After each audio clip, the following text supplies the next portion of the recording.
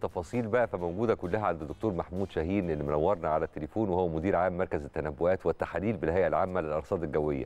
يا دكتور محمود صباح الفل على حضرتك وأهلا بيك معانا في 10 الصبح في الأهلي. صباح الفل على حضرتك أخبار حضرتك إيه كله تمام؟ أهلا بحضرتك كل سنه وحضرتك طيب وحضرتك بالصحة والسلامة. كنت لسه بقول من شوية يا دكتور محمود إن الجو ابتدى يحلو ده العنوان لكن التفاصيل بقى بتاعته عند حضرتك طبعا.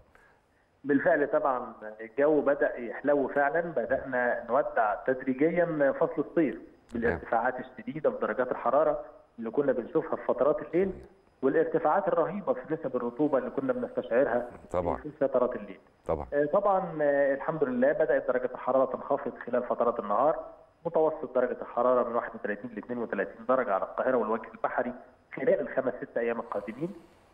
السواحل الشمالية ما بين 29 و 30 درجة. لسه طبعا الجنوب مرتفع في درجات الحرارة ولكن بقت أقل من ال 40 اللي كانت بتسجلها في الأيام الأخيرة. وصلت إلى 37 و 38 درجة محافظات جنوب مصر خاصة جنوب الصعيد. فطبعا يعتبر هذه انخفاضات تدريجيه في درجات الحرارة لحين دخولنا في الأجواء الخريفيه إن شاء الله بشكل رسمي اعتبارا من يوم 23 9 بإذن الله. بإذن الرحمن، طبعا إحنا دلوقتي في ناس يعني في التوقيت ده بصفة خاصة بتبتدي تصيف، يعني بتستنى لما معظم المصطافين أو المصيفين يرجعوا من المحافظات الساحلية ويلحقوا لهم هم weekend على الأقل، هل من المتوقع إن يبقى في أي تغييرات مثلا في في الجو تستدعي إن هم ياخدوا بالهم مثلا في حاله السفر في الصباح الباكر شبورة النوع ده من الأمور؟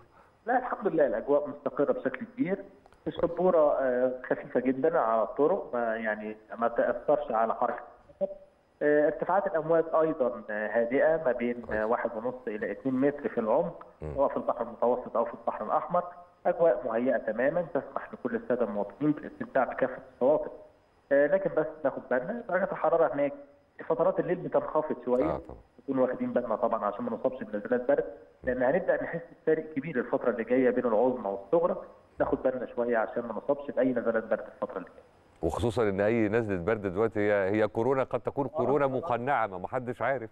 كله مش عارف فطبعا صحيح. طبعا. صحيح. طيب برضو برضو يعني عايزين نعرف من حضرتك فيما يتعلق بمسألة تغير المناخ واللي بقينا كل يوم والتاني نشوف له آه، مظاهر مختلفة في دول مختلفة. يعني آه، سيول وفيضانات شهدناها في بعض الدول وخصوصا دول الخليج في أوقات غريبة جدا من السنة. هل مع بداية دخولنا في الأجواء الشتوية هل من المتوقع أن تستمر مظاهر تغير المناخ بشكل آه، كبير مثلا؟ ممكن يبقى له أي مظهر من المظاهر موجودة عندنا في مصر؟ هو وارد طبعا حضرتك طبعا إحنا خلاص آه، مفيش مفاجآت دلوقتي بتحصل في الجو، كلنا خلاص بقينا نستنتج ونتوقع إن ممكن أي ظواهر جوية حادة أو عنيفة نتعرض لها أي دولة من الدول نتيجة هذه التغيرات المناخية. أيوة. آه، خاصة إحنا داخلين على فصل تقلبات جوية أصلا فصل. الخريف ده آه، بيستمر معانا ثلاث شهور آه، من طبعا 23 سبتمبر ويستمر معانا آه، لغاية آه، منتصف ديسمبر طبعا ال- الفترة دي بتكون هناك تقلبات جوية حادة وسريعة ودي سمه أساسية من سمات فصل الخريف فممكن طبعا أثناء هذه التقلبات تحدث حالات أو نوبات طقس جامحة آه، نتيجة التغيرات المناخية آه، اللي بتأثر على مصر زي ما بتأثر على باقي الدول. وطبعا هنكون واخدين بالنا كويس جدا ال- الهيئة العامة للأرصاد الجوية نشراتها مهمة جدا طبعا خلال الفترة دي. متابعة النشرات الجوية شيء ضروري جدا خاصة للساده المواطنين اللي بيخرجوا الصبح بدري لأعمالهم وأنشطتهم اليومية. طيب هو هو برضه عايز أسأل حضرتك بشكل عام مش بتكلم بقى هنا على مصر بتكلم بصفة بصفة عامة. طبعا كلنا مدركين إن إن البشر هم اللي خربوا الدنيا على الكوكب ونتج عن هذا الخراب أو التخريب. آه، ال- ال- التغير المناخي اللي حاصل بكل انعكاساته طبعا الغير طيبة بالمرة. في الفترة الأخيرة بقت كتير من الدول بتنادي وتقيم فعاليات مؤتمرات مختلفة لمناقشة آه، موضوع تغير المناخ ولا سيما في مصر قريب جدا إن شاء الله وتحديدا في شرم الشيخ.